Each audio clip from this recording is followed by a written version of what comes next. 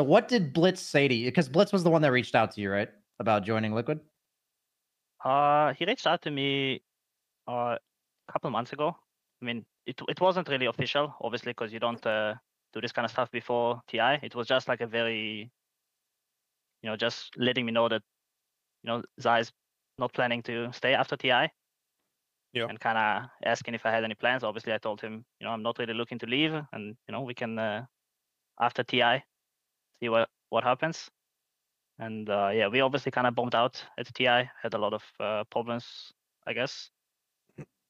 and yeah, I just I felt like it's a really good, uh, really good opportunity for me, and I reached out to Blitz, asked him if it's still like uh, available.